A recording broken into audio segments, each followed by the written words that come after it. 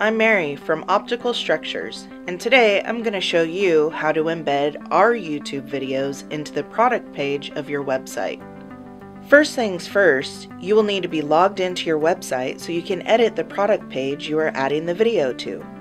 Once you're logged in and at the page where you want your video to land, find the spot where you would like your video to be seen on the product page.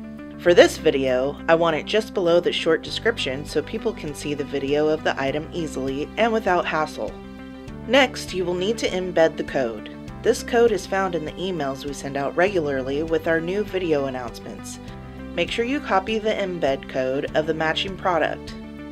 Once copied, you can now go back to your website and paste it in the section you want the video to be seen.